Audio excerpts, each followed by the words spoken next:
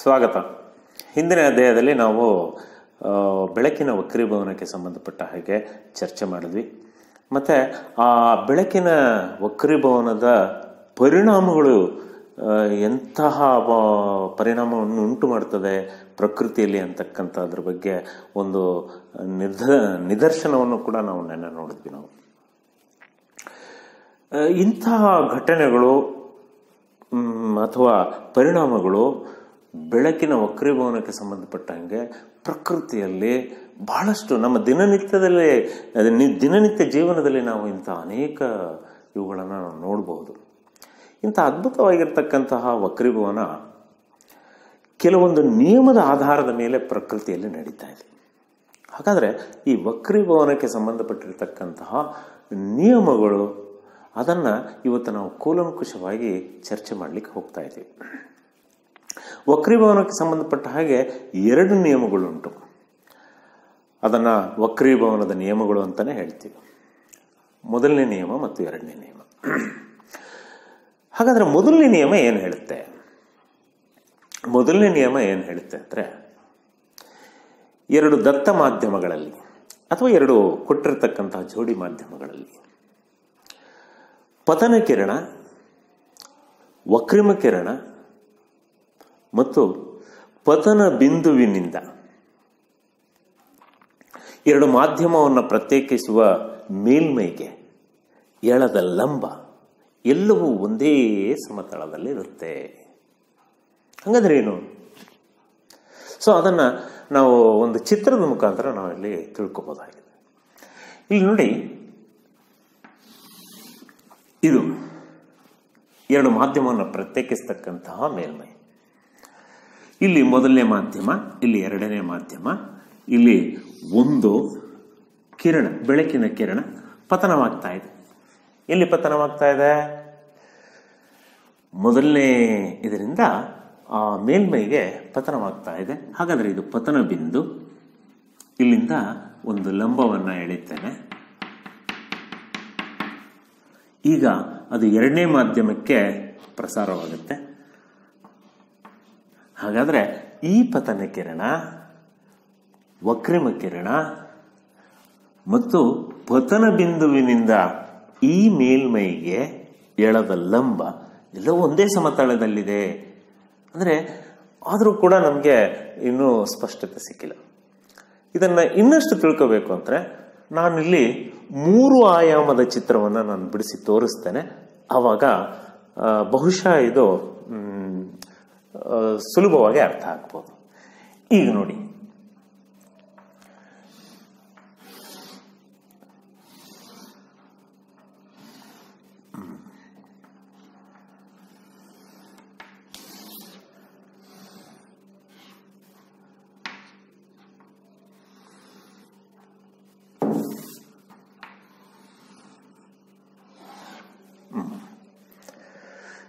ಇಲ್ಲಿ ನಾನು ಒಂದು ಸಮತಳವನ್ನು ರಚನೆ ಮಾಡ್ತೇನೆ. ಯಾವ ರೀತಿ ಇದೆ ಅನ್ನೋದನ್ನು ಸ್ವಲ್ಪ ಗಮನಿಸಿ. ಓಕೆ.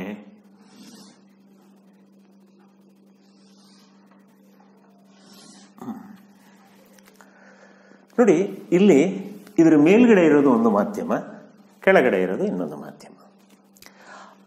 ಆ ಎರಡು ಮಾಧ್ಯಮಕ್ಕೆ ಲಂಬವಾಗಿ ಒಂದು ಸಮತಳವನ್ನು ನಾನಿಲ್ಲಿ ಪರಿಗಣಿಸಿದ್ದೀನಿ. ಈಗ ನಾನು ಈ ಮುಖಾಂತರ ಈ ಏನು ಸಮತಳ ಇದೆ ಪರಿಗಣಿಸಿದ್ದೀನಿ, ಅದರ ಮುಖಾಂತರ ನಾನು ಬೆಳಕನ್ನು ಹಾಯಿಸ್ತೇನೆ. ಹಾಗಾದರೆ ಇದು ಪತನ ಕಿರಣ ಆಯಿತು. ಇದು ಪತನ ಬಿಂದು. ಸೊ ಹಾಗಾದ್ರೆ ಮೊದಲನೇ ಮಾಧ್ಯಮ ಮತ್ತು ಎರಡನೇ ಮಾಧ್ಯಮವನ್ನು ಪ್ರತ್ಯೇಕಿಸ್ತಕ್ಕಂತಹ ಈ ಮೇಲ್ಮೈಯಲ್ಲಿ ಪತನ ಬಿಂದು ಇದೆ. ಆ ಪತನ ಬಿಂದುವಿನ ಮುಖಾಂತರ ಈ ಮೇಲ್ಮೈಗೆ ಒಂದು ಲಂಬವನ್ನು ಎಳಿತೇನೆ ಆ, ನೋಡಿ ಇದೆ. ಆ ಲಂಬ. ಆ ಲಂಬ ಎಳಿಬೇಕಾದ್ರೆ ಪತನ ಬಿಂದುವಿನ ಮುಖಾಂತರ ಹಾದು ಹೋಗಬೇಕು, ಎರಡು ಮಾಧ್ಯಮಕ್ಕೂ ಹಾದು ಹೋಗಬೇಕು. ಇಲ್ಲಿ ಬೆಳಕು ಏನಾಗ್ತಾ ಇದೆ? ಬಾಗ್ತಾ ತನ್ನ ದಿಕ್ಕನ್ನು ಬದಲು ಮಾಡ್ತದೆ. ಹಾಗಾದ್ರೆ ಇದು ಪತನ ಕಿರಣ, ಇದು ವಕ್ರಿಮ ಕಿರಣ. ನಾನು ಇನ್ನೊಂದು ಸಮತಳವನ್ನು ಪರಿಗಣಿಸ್ತೇನೆ. ಆ ಸಮತಳ ಇದಾಗಿರಲಿ.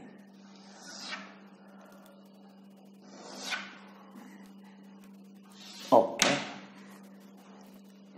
ಈಗ ನಾನು ಬೆಳಕನ್ನು ಇಲ್ಲಿಂದ ಬಿಡ್ತೀನಿ. ಬೆಳಕನ್ನು ಇಲ್ಲಿಂದ ಬಿಟ್ಟಾಗ ಇದು ಪತನ ಕಿರಣ ಆಗುತ್ತೆ. ಇದು ಈ ಎರಡು ಮಾಧ್ಯಮವನ್ನು ಬೇರ್ಪಡಿಸ್ತಕ್ಕಂತಹ ಮೇಲ್ಮೈ ಮೇಲೆ ಪತನವಾಗ್ತಾ ಇದೆ. ಇದು ಪತನ ಬಿಂದು, ಇಲ್ಲಿಂದ ಒಂದು ಲಂಬವನ್ನು ಎಳಿತೇನೆ ಹಾಗಾದರೆ ಈ ಮೇಲ್ಮೈ ಒಳಗಡೆ ಇನ್ನೊಂದು ಮಾಧ್ಯಮ ಇದೆ ಅಲ್ವಾ? ಅಲ್ಲಿಗೆ ಬೆಳಕು ಹಾದು ಹೋಗುತ್ತೆ. ಹಾಗಾದರೆ ಇದು ಪತನ ಕಿರಣವಾಗುತ್ತೆ ಇದು ಪ್ರತಿಫಲನ ವಕ್ರಿಮ ಕಿರಣ ಆಗುತ್ತೆ. ಸ್ವಲ್ಪ ಇಲ್ಲಿ ಗಮನಿಸ್ತಿರ್ಬೋದು. ನೋಡಿ, ಈ ಪತನ ಕಿರಣಕ್ಕೆ ಸಂಬಂಧಪಟ್ಟಿರೋ ವಕ್ರಿಮ ಕಿರಣ ಇದಾಗಿದ್ದರೆ, ಈ ಪತನ ಕಿರಣಕ್ಕೆ ಸಂಬಂಧಪಟ್ಟಿರತಕ್ಕಂಥ ವಕ್ರಿಮ ಕಿರಣ ಇದಾಗುತ್ತೆ. ಈ ಪತನ ಕಿರಣಕ್ಕೂ, ಈ ವಕ್ರಮ ಕಿರಣಕ್ಕೂ ಯಾವುದೇ ಸಂಬಂಧ ಇಲ್ಲ. ಸೊ ಇದೇ ಮೊದಲನೇ ನಿಯಮ ಹೇಳೋದು. ಸೊ ಪತನ ಕಿರಣ ವಕ್ರಿಮ ಕಿರಣ ಪತನ ಬಿಂದುವಿನಿಂದ ಎರಡು ಮಾಧ್ಯಮವನ್ನು ಪ್ರತ್ಯೇಕಿಸುವ ಮೇಲ್ಮೈಗೆ ಎಳೆದ ಲಂಬ ಎಲ್ಲವೂ ಏನಾಗಿರುತ್ತೆ? ಒಂದೇ ಸಮತಳಕ್ಕೆ ಸೀಮಿತವಾಗಿರುತ್ತೆ. ಇದು ಮೊದಲನೇ ನಿಯಮ. ಹಾಗಾದರೆ ಎರಡನೇ ನಿಯಮವನ್ನು ನಾವು ನೋಡೋಣ. ಎರಡನೇ ನಿಯಮ ಏನು ಹೇಳುತ್ತೆ? ಎರಡನೇ ನಿಯಮ ಹೇಳುತ್ತೆ, ನಿರ್ದಿಷ್ಟ ಬಣ್ಣದ ಬೆಳಕು ಮತ್ತು ನಿರ್ದಿಷ್ಟ ಜೋಡಿ ಮಾಧ್ಯಮಕ್ಕೆ ಪತನ ಕೋನದ ಸೈನು ಮತ್ತು ವಕ್ರಿಮ ಕೋನದ ಸೈನು ಇದರ ನಿಷ್ಪತ್ತಿ ಅಥವಾ ಅನುಪಾತ ರೇಷಿಯೋ ಅಂತ ಕೂಡ ಹೇಳ್ತೀವಿ. ಅದು ಯಾವಾಗಲೂ ಸ್ಥಿರವಾಗಿರುತ್ತೆ ಅಥವಾ ಸ್ಥಿರಾಂಕ ಸಿಗುತ್ತೆ ಅಂತ ಹೇಳ್ಬಿಟ್ಟು ಹೇಳ್ತೇನೆ ಹಂಗಾದ್ರೆ ಏನು? ಅದನ್ನು ಈ ರೀತಿಯಾಗಿ ಬರೀತೇನೆ. Sine i by sine r ಇದು ಒಂದು ಸ್ಥಿರಾಂಕವಾಗಿರುತ್ತೆ. ಅಂದ್ರೆ ಇದು ಒಂದು ನಿಷ್ಪತ್ತಿ. ಎದರ ನಿಷ್ಪತ್ತಿ? ಪತನ ಕೋನದ ಸೈನು ಮತ್ತು ವಕ್ರಿಮ ಕೋನದ ಸೈನು. ಇದರ ನಿಷ್ಪತ್ತಿ ಅಥವಾ ಅನುಪಾತ ಯಾವಾಗಲೂ ಏನಾಗಿರುತ್ತೆ? ಸ್ಥಿರಾಂಕವಾಗಿರುತ್ತೆ. ಯಾವುದಕ್ಕೆ? ಕೊಟ್ಟಿರ್ತಕ್ಕಂತಹ ನಿರ್ದಿಷ್ಟ ಜೋಡಿಯ ಮಾಧ್ಯಮಗಳಿಗೆ. ಸೊ ಇದನ್ನು ನಾವು ಚೆನ್ನಾಗಿ ತಿಳ್ಕೋಬೇಕು ಅಂತ ಹೇಳಿದ್ರೆ, ಒಂದು ಉದಾಹರಣೆ ಕೊಟ್ಟು ನಾವು ತಿಳ್ಕೋಬಹುದು ಈಗ ನಿರ್ದಿಷ್ಟ ಜೋಡಿಯ ಮಾಧ್ಯಮಗಳಿಗೆ ಸ್ಥಿರಾಂಕವಾಗಿರುತ್ತೆ ಅಂದ್ರೆ ಏನು? ಇಲ್ಲಿ ನಾನು ಎರಡು ಮಾಧ್ಯಮ ತಗೊಂಡಿದ್ದೀನಿ. ಮೊದಲನೇ ಮಾಧ್ಯಮಕ್ಕೆ ಒಂದು ಅಂತ ಕೊಟ್ಟಿದ್ದೀನಿ, ಎರಡನೇ ಮಾಧ್ಯಮಕ್ಕೆ ಎರಡು ಅಂತ ಕೊಟ್ಟಿದ್ದೀನಿ. ಇಲ್ಲಿ ಬೇರೆ ಮಾಧ್ಯಮ ತಗೊಂಡಿದ್ದೀನಿ. ಅಂದರೆ ಮೊದಲನೇ ಮಾಧ್ಯಮ ಇದೇ ಮಾಧ್ಯಮನೇ. ಆದರೆ ಎರಡನೇ ಮಾಧ್ಯಮ ಇದಲ್ಲ. ಇನ್ನೊಂದು ಮಾಧ್ಯಮವನ್ನು ನಾನು ಪರಿಗಣಿಸಿದ್ದೇನೆ. ಮೊದಲನೇ ಮಾಧ್ಯಮ ಮಾತ್ರ ಎರಡು ಒಂದೇ, ಆದರೆ ಕೆಳಗಿರ್ತಕ್ಕಂತಹ ಮಾಧ್ಯಮ ಏನಿದೆ, ಅದು ಬೇರೆ ಬೇರೆ ಇದೆ. ಹಾಗಾದರೆ ಎರಡನೇ ನಿಯಮದಲ್ಲಿ ಈ ಒಂದು ಸಮೀಕರಣ ಏನನ್ನು ಸೂಚಿಸ್ತದೆ? ನೋಡೋಣ. ಈಗ ನಾನು sine i by sine r ಬದಲು ನಾನು ಏನನ್ನು ಪರಿಗಣಿಸ್ತೀನಿ? ಐ ಬೈ ಆರ್ ಅಂತಾನೆ ತಗೋತೀನಿ. I by r i by r ಯಾಕೆ sine i by sine r ಯಾಕೆ ಐ ಬೈ ಆರ್ ಕೋನಗಳು ಕಡಿಮೆ ಇದ್ದಾಗ. ಸೈನ್ ಅನ್ನ ಐ ಅಂತ ಪರಿಗಣಿಸ್ಬೋದು. ಸೈನ್ ಆರ್ ಅನ್ನ ಆರ್ ಅಂತ ಪರಿಗಣಿಸ್ಬೋದು. ಇದು ಯಾವಾಗ? ಈ ಕೋನಗಳು ಏನಾಗಿರಬೇಕು? ಬಹಳ ಕಡಿಮೆ ಇದ್ದಾಗ. ಯಾಕೆ ನಾನು ಕಡಿಮೆ ತಗೊಂಡಿದ್ದೀನಿ ಅಂತ ಹೇಳಿದ್ರೆ ನಿಮಗೆಲ್ಲ ಅರ್ಥ ಮಾಡಿಸ್ಬೇಕಲ್ಲ? ಅದಕ್ಕಾಗಿ ನಾನು ಕಡಿಮೆ ತಗೊಂಡಿದ್ದೀನಿ. ಈಗ ಉದಾಹರಣೆಗೆ, ಈಗ ಐ ಬೆಲೆ ಇಲ್ಲಿ ನಾಲ್ಕು ಇರಲಿ. ನಾಲ್ಕು ಡಿಗ್ರಿ ಇರಲಿ. ಆರ್ ಬೆಲೆ ಎರಡು ಡಿಗ್ರಿ ಇರಲಿ. ಹಾಗಾದರೆ ಇದರ ಅನುಪಾತ ಎಷ್ಟು ಬರುತ್ತೆ? ಎರಡು. ಈಗ ನಾನೇನು ಮಾಡ್ತೀನಿ? ಇದನ್ನು ಹೆಚ್ಚು ಮಾಡ್ತೀನಿ. ಹೆಚ್ಚು ಮಾಡಿ ಎಂಟು ಡಿಗ್ರಿ ಮಾಡಿದೆ. ಎಂಟು ಡಿಗ್ರಿ ಮಾಡಿದಾಗ ಇದು ಎಷ್ಟು ಬರುತ್ತೆ? ನಾಲ್ಕು ಡಿಗ್ರಿ ಆಗುತ್ತೆ. ಯಾಕೆಂದ್ರೆ ಪತನ ಕೋನವನ್ನು ಹೆಚ್ಚು ಮಾಡಿದಾಗ ವಕ್ರಿಮ ಕೋನವು ಕೂಡ ಏನಾಗುತ್ತೆ? ಹೆಚ್ಚಾಗುತ್ತೆ. ಹಾಗಾದ್ರೆ ಇದು ನಾಲ್ಕು ಡಿಗ್ರಿ ಅಂತ ಇಟ್ಕೋತೀನಿ. ಈಗ ಅನುಪಾತ ಏನಾಯ್ತು? ಎರಡಾಯಿತು. ಇದನ್ನ ಹನ್ನೆರಡು ಡಿಗ್ರಿ ಮಾಡ್ತೀನಿ, ಪತನ ಕೋನವನ್ನು. ವಕ್ರಿಮ ಕೋನವೂ ಹೆಚ್ಚಾಗುತ್ತೆ ಅದಕ್ಕೆ ತಕ್ಕಂತೆ.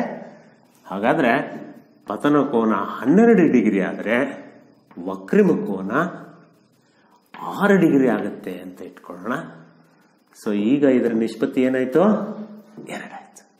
ಅಂದ್ರೆ, ಪ್ರತಿ ಸತಿಯೂ ಏನಾಗ್ತಾ ಇದೆ ಅಂತ ಹೇಳಿದ್ರೆ, ಇದು ಹೇಗೆ ಹೆಚ್ಚಾಗುತ್ತೋ ಪತನ ಕೋನ ಅದಕ್ಕೆ ಪ್ರಪೋರ್ಷನಲ್ ಆಗಿ ವಕ್ರಿಮ ಕೋನ ಹೆಚ್ಚಾಗ್ತಾ ಇದೆ. ಆದರೆ, ಅವು ಎರಡರ ನಿಷ್ಪತ್ತಿ ಏನಾಗಿದೆ? ಆದರೆ, ಎರಡರ ಅನುಪಾತದ ಬೆಲೆ ಸದಾ ಏನಾಗಿರುತ್ತೆ? ಸ್ಥಿರವಾಗಿರುತ್ತೆ. ಹಾಗಾದ್ರೆ ಇದು ಈ ಮಾಧ್ಯಮಕ್ಕೆ ಆಯ್ತು.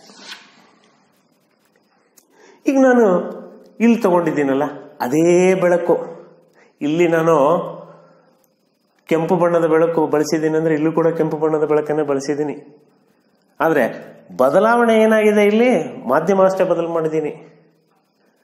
ಈಗ ನಾನು ಮೊದಲನೇ ಮಾಧ್ಯಮ ಒಂದು ಅಂತನೋ, ಎರಡನೇ ಮಾಧ್ಯಮನ ಮೂರು ಅಂತನೋ ಸೂಚಿಸಿದ್ದೇನಲ್ವಾ ಈಗ ಇದರಲ್ಲಿ ಇದೇ ಬಣ್ಣದ ಬೆಳಕೆ ಹೋಗ್ತಾ ಇದೆ. ಈಗ ಏನಾಗುತ್ತೆ ನೋಡೋಣ. ಐ ಬೈ ಆರ್ ಬೆಲೆ ಏನಾಗುತ್ತೆ? ಐ ಬೈ ಆರ್ ಬೆಲೆ. ಇಲ್ಲೂ ಕೂಡ ನಾನು ಪತನ ಕೋನವನ್ನು ಸಣ್ಣ ಕೋನವನ್ನಾಗೆ ತಗೋತೀನಿ. ಇಲ್ಲಿ ನಾಲ್ಕು ಡಿಗ್ರಿ ತಗೊಳ್ಳೋಣ ಪತನ ಕೋನ. ವಕ್ರಗಮ್ಮ ಕೋನ ಎಷ್ಟು ಬರುತ್ತೆ? ಒಂದು ಡಿಗ್ರಿ ಅಂತ ಇಟ್ಕೊಳ್ಳೋಣ. ಇದು ನಾನು ಎರಡು ಮಾಧ್ಯಮವನ್ನು ಪರಿಗಣಿಸಿರೋದು ಕಾಲ್ಪನಿಕ ಮಾಧ್ಯಮ. ನಿಮಗೆ ಈ ಎರಡನೇ ಮಾ, ನಿಯಮದ ಅರ್ಥವನ್ನ ತಿಳಿಸ್ಲಿಕ್ಕಾಗಿ ನಾನೇ ಊಹೆ ಮಾಡಿಕೊಂಡು ನಿಮಗೆ ಕೋನವನ್ನ ತಿಳಿಸ್ತಾ ಇದ್ದೀನಿ. ಈಗ ಏನಾಗುತ್ತೆ ಇದರ ಅನುಪಾತ? ನಾಲ್ಕು. ಹಾಗಾದ್ರೆ ಇದನ್ನ ಎಂಟು ಡಿಗ್ರಿ ಮಾಡ್ತೀನಿ. ಪತನ ಕೋನ ಎಂಟು ಡಿಗ್ರಿ ಆದ್ರೆ ವಕ್ರಿಮ ಕೋನ ಎರಡು ಡಿಗ್ರಿ ಆಗುತ್ತೆ ಅಂತ ಇಟ್ಕೊಳ್ಳೋಣ ಎಷ್ಟಾಯ್ತು ಈಗ ನಿಷ್ಪತ್ತಿ? ನಾಲ್ಕು. ಈಗ ಇದನ್ನ ಇನ್ನೂ ಹೆಚ್ಚು ಮಾಡಿ ಹನ್ನೆರಡು ಡಿಗ್ರಿ ಮಾಡ್ತೀನಿ. ಪತನ ಕೋನವನ್ನ. ವಕ್ರಿಮ ಕೋನ ಎಷ್ಟಾಗುತ್ತೆ? ಅದು ಮೂರು ಡಿಗ್ರಿ ಆಗುತ್ತೆ ಅಂತ ಇಟ್ಕೊಳ್ಳೋಣ. ಎಷ್ಟಾಗುತ್ತೆ ಅನುಪಾತ? ನಾಲ್ಕು. ಅಂದ್ರೆ ಗಮನಿಸಿ ಇಲ್ಲಿ. ಇಲ್ಲೂ ಸ್ಥಿರಾಂಕ ಸಿಕ್ಕಿದೆ? ಇಲ್ಲೂ ಸ್ಥಿರಾಂಕ ಸಿಕ್ಕಿದೆ ಸೊ ಅಂದ್ರೆ ಒಂದೇ ಬಣ್ಣದ ಬೆಳಕು, ಇಲ್ಲೂ ಕೆಂಪು ಬಣ್ಣ ಬಳಸಿದ್ದೀನಿ ಅಂತಾನೆ ಇಟ್ಕೊಂಡಿದ್ದೀನಿ, ಇಲ್ಲೂ ಕೆಂಪು ಬಣ್ಣ ಅಥವಾ ಹಳದಿ ಇದ್ರೆ ಹಳದಿ. ಎರಡರಲ್ಲೂ ಕೂಡ ಏನಾಗಿದೆ, ಬೆಳಕಿನ ಬಣ್ಣ ಒಂದೇ ಆಗಿದೆ. ಆದರೆ ಮಾಧ್ಯಮ ಬದಲಾದ ಹಾಗೆ ಸ್ಥಿರಾಂಕದ ಬೆಲೆಯು ಕೂಡ ಏನಾಗುತ್ತಾ ಹೋಗುತ್ತೆ? ಬದಲಾಗುತ್ತೆ ನೋಡಿ, ಇದು ಒಂದನೇ ಮಾಧ್ಯಮದಿಂದ ಮಾಧ್ಯಮ ಎರಡಕ್ಕೆ ಹೋದಾಗ ಈ ನಿಷ್ಪತ್ತಿ ಅಥವಾ ಈ ಅನುಪಾತ ಸ್ಥಿರವಾಗಿದೆ. ಅದೇ ಅದೇ ಬಣ್ಣದ ಬೆಳಕು. ಬೇರೆ ಮಾಧ್ಯಮಗಳಿಗೆ ಹೋದಾಗ ಅಲ್ಲೂ ಕೂಡ ಸ್ಥಿರವಾಗಿರುತ್ತೆ, ಆದರೆ ಬೆಲೆ ಮೊದಲಷ್ಟೇ ಇರಬೇಕು ಅಂತ ಏನಿಲ್ಲ. ಅದೇನಾಗಿರಬೇಕು? ಬೇರೆನೇ ಆಗಿರಬೇಕು. ಸೊ, ಇದು ಎರಡನೇ ನಿಯಮದಲ್ಲಿ ಎರಡು ನಿರ್ದಿಷ್ಟ ಜೋಡಿಯ ಮಾಧ್ಯಮಗಳಿಗೆ ಸಂಬಂಧಪಟ್ಟಿರ್ತಕ್ಕಂಥದ್ದು. ಈಗ ನಾವು ಬಣ್ಣ ಬದಲಾದ ಹಾಗೆ ಈ ಸ್ಥಿರಾಂಕ ಬದಲಾಗುತ್ತಾ ಅನ್ನೋದನ್ನ ನಾವು ನೋಡೋಣ. ಇಲ್ಲಿ ನಾನೇನು ಮಾಡಿದ್ದೀನಿ ನೋಡಿ? ಮಾಧ್ಯಮ ಒಂದು, ಮಾಧ್ಯಮ ಎರಡು. ಇದು ಮಾಧ್ಯಮ ಒಂದು, ಮಾಧ್ಯಮ ಎರಡು. ಅಂದ್ರೆ ಮಾಧ್ಯಮ ಇಲ್ಲಿ ಬದಲಾಗಿಲ್ಲ. ಇಲ್ಲಿ ಬದಲಾಗಿದ್ದೇನು ಹಾಗಾದರೆ? ಬದಲಾಗಿದ್ದು ಬೆಳಕಿನ ಬಣ್ಣ. ಇಲ್ಲಿ ಕೆಂಪು ಬಣ್ಣದ ಬೆಳಕನ್ನು ತೆಗೆದುಕೊಂಡ್ರೆ ಇಲ್ಲಿ ಹಳದಿ ಬಣ್ಣದ ಬೆಳಕನ್ನು ತೆಗೆದುಕೊಂಡಿದ್ದೀನಿ. ಹೀಗೆ ತೆಗೆದುಕೊಂಡಾಗ ಈ ನಿಷ್ಪತ್ತಿ ಅಥವಾ ಅನುಪಾತ ಆಗಲೂ ಕೂಡ ಸ್ಥಿರಾಂಕವಾಗಿರುತ್ತೆ. ಆದರೆ ಬಣ್ಣದ ಬೆಳಕಿನ ಬಣ್ಣ ಬದಲಾದ ಹಾಗೆ ಆ ಸ್ಥಿರಾಂಕವು ಕೂಡ ಬದಲಾಗುತ್ತೆ. ಉದಾಹರಣೆಗೆ ನಾವು ನೋಡೋಣ. Sine i by sine r ಬಂದು ಐ ಬೈ ಆರ್ ಅಂತಲೇ ನಾನು ತೆಗೆದುಕೋತೀನಿ ಈಗ ಏನಾಗುತ್ತೆ ಉದಾಹರಣೆಗೆ, ಇದು ನಾಲ್ಕು ಡಿಗ್ರಿ ಆದರೆ ಈ ಬೆಳಕಿಗೆ. ಇದು ಕೆಂಪು ಬಣ್ಣಕ್ಕೆ ಎರಡು ಡಿಗ್ರಿ ಆಗುತ್ತೆ. ಹಾಗಾದರೆ ಎಷ್ಟು ಬರುತ್ತೆ? ನಿಷ್ಪತ್ತಿ ಎರಡು ಬರುತ್ತೆ. ಅದೇ ತನ್ನ ಎಂಟು ಡಿಗ್ರಿಗೆ ನಾನು ಬದಲು ಮಾಡಿಕೊಂಡ್ರೆ ಇದು ನಾಲ್ಕು ಡಿಗ್ರಿ ಆಗುತ್ತೆ ಅಂತ ಇಟ್ಕೊಳ್ಳೋಣ. ಮಕ್ಕಳೋಣ ನಿಷ್ಪತ್ತಿ ಎರಡಾಗುತ್ತೆ. ಇದು ಹನ್ನೆರಡು ಡಿಗ್ರಿಗೆ ತೆಗೆದುಕೊಂಡಾಗ ಇದು ಆರ್, ಆರು ಡಿಗ್ರಿಗೆ ಬರುತ್ತೆ ಅಂತ ಇಟ್ಕೊಳ್ಳೋಣ. ಈಗೇನಾಯ್ತು? ಎರಡಾಯ್ತು. ಈಗ ನಾನೇನು ಮಾಡ್ತೀನಿ? ಅದೇ ಮಾಧ್ಯಮ. ಮಾಧ್ಯಮ ಏನು ಬದಲು ಮಾಡಿಲ್ಲ. ಚಿತ್ರದಲ್ಲಿ ಬೇರೆ ಕಡೆ ಬರೆದಿದ್ದೀನಿ ಅಷ್ಟೇ. ಮಾಧ್ಯಮ, ಅದೇ ಮಾಧ್ಯಮಕ್ಕೆ ಬಣ್ಣದ ಬೆಳಕು ಬದಲಾಗಿದೆ. ಹಾಗಾದ್ರೆ ಇಲ್ಲಿ ಏನಾಗುತ್ತೆ ಈ ನಿಷ್ಪತ್ತಿ ಅನ್ನೋದನ್ನು ನೋಡುವ. ಪತನ ಕಿರಣ ನಾಲ್ಕು ಡಿಗ್ರಿ ತೆಗೆದುಕೊಂಡಾಗ ಪ್ರತಿಫಲನ ಕಿರಣ ಒಂದು ಡಿಗ್ರಿ. ನಿಷ್ಪತ್ತಿ ಎಷ್ಟಾಯ್ತು? ನಾಲ್ಕು. ಹಾಗಾದ್ರೆ ಇದು ಎಂಟು ಡಿಗ್ರಿ ಆದಾಗ ಇದು ಎರಡು ಡಿಗ್ರಿ ಆಗುತ್ತೆ. ಈಗ ಅದರ ಬೆಲೆ ನಾಲ್ಕು. ಈಗ ಇದು ಹನ್ನೆರಡು ಡಿಗ್ರಿ ಪತನ ಕಿರಣವಾದರೆ ವಕ್ರಮ ಕಿರಣವು ಮೂರು ಡಿಗ್ರಿ ಆಗುತ್ತೆ. ಈಗಲೂ ನಿಷ್ಪತ್ತಿ ಏನಾಗಿದೆ? ನಾಲ್ಕು. ನೋಡಿ ಇಲ್ಲೇನು ಗಮನಿಸ್ತಾ ಇದ್ದೀವಿ? ಮಾಧ್ಯಮ ಬದಲಾಗಿಲ್ಲ. ಬಣ್ಣ ಬದಲಾಗಿದೆ. ಪತನ ಕಿರಣ ಬದಲು ಮಾಡದ ಹಾಗಲ್ಲ ವಕ್ರಿಮ ಕಿರಣವೂ ಬದಲಾಗುತ್ತೆ. ಆದರೆ ಯಾವಾಗಲೂ ಏನಾಗಿರುತ್ತೆ? ಸ್ಥಿರವಾಗಿರುತ್ತೆ. ಆದರೆ ಇಲ್ಲಿ ಬಣ್ಣವನ್ನು ಬದಲು ಮಾಡಿದೆ. ಆವಾಗಲೂ ಸ್ಥಿರವಾಗಿದೆ. ಆದರೆ ಕೆಂಪು ಬಣ್ಣ ಹಾಯಿಸಿದಾಗ ಯಾವ ಸ್ಥಿರಾಂಕ ಬಂದಿತ್ತೋ ಅದೇ ಸ್ಥಿರಾಂಕ ಹಳದಿ ಬಣ್ಣ ಹಾಯಿಸಿದಾಗ ಬರೋದಿಲ್ಲ. ಬೇರೆ ಬೇರೆ ಬಣ್ಣಕ್ಕೆ ಬೇರೆ ಬೇರೆ ಸ್ಥಿರಾಂಕ ಇರುತ್ತೆ ಅಂತಕ್ಕಂಥದ್ದು. ಇದೇ ಎರಡನೇ ನಿಯಮಕ್ಕೆ ಸಂಬಂಧಪಟ್ಟಿರ್ತಕ್ಕಂಥದ್ದು. ಹಾಗಾದರೆ ಎರಡನೇ ನಿಯಮ ಏನು ಹೇಳುತ್ತೆ? ಎರಡನೇ ನಿಯಮ ಏನು ಹೇಳುತ್ತೆ ಅಂತ ಹೇಳಿದ್ರೆ ನಿರ್ದಿಷ್ಟ ಜೋಡಿಯ ಮಾಧ್ಯಮಗಳು ಮತ್ತು ನಿರ್ದಿಷ್ಟ ಬಣ್ಣದ ಬೆಳಕಿಗೆ ಪತನ ಕೋನದ ಸೈನು, ವಕ್ರಿಮ ಕೋನದ ಸೈನು, ಇವು ಎರಡರ ಅನುಪಾತ ಅಥವಾ ನಿಷ್ಪತ್ತಿ ಸ್ಥಿರವಾಗಿರುತ್ತೆ ಅಥವಾ ಸ್ಥಿರಾಂಕವಾಗಿರುತ್ತೆ ಅಂತ ಹೇಳ್ಬಿಟ್ಟು ಹೇಳಿ